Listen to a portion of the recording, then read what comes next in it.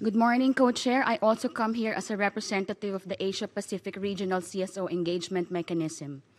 In the Philippines, like many other countries, statistics mask poverty and inequalities between rich and poor, men and women. A few magical waves of statistical wands support government's claim that poverty has been greatly reduced and globalization has been good for all. But walk with me through the slums of Manila, and I'll show you that poverty, no matter how it's measured, is deeply felt by millions. Come to our rural communities and see how resource grabs, the privatization of water, energy, education, and health are greater indicators of misery. Statistics are political acts. They matter for those we choose to count. They matter even more for those who we don't count. The use of World Bank's poverty measurement and failure to measure concentration of wealth are two political statistical choices designed to continue the malevolent fiction that neoliberalism is good. Anywhere in the world, $1.25 per person per day is starvation rate.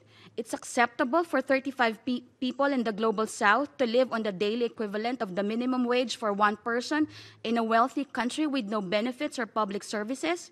That's a morally reprehensible assertion that values the lives of vast majority of the world less than those in the developed world. Changing the base year for the statistic is another manipulation to make the poor disappear. Statistics we select should measure transformation, and it's not hard. We can measure growing wealth inequalities between countries and people, the world's wealth in offshore bank accounts, whether a country provides living wages, the ratio between labor share and profits. We could even measure the time it takes the world's richest person to gain what a Bangladeshi garment worker will earn in a year, which is one second, by the way. We can measure policies, not just outcomes.